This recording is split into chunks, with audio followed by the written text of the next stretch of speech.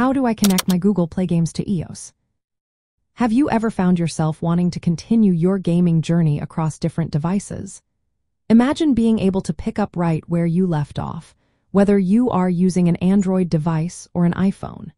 Today, we will walk through the steps necessary to connect your Google Play Games account to your iOS device, allowing for a seamless gaming experience.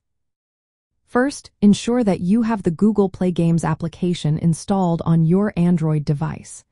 This application is essential for managing your game data and progress. Next, open the application and sign in with your Google account if you have not done so already. This account will serve as the bridge between your Android and iOS devices. Once you are signed in, take note of the games you want to transfer. Many games support cross-platform play, but not all do.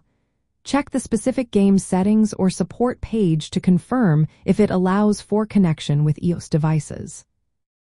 Now, on your iOS device, download the game you wish to play. After installation, Open the game and look for the option to sign in with your Google account. This option is typically found in the game's settings or main menu. Sign in using the same Google account you used on your Android device. After signing in, the game should recognize your previous progress. If you encounter any issues, ensure that both devices are connected to the internet and that you are using the same Google account on both platforms. Some games may requiring additional steps or permissions to sync data, so be sure to follow any prompts that appear.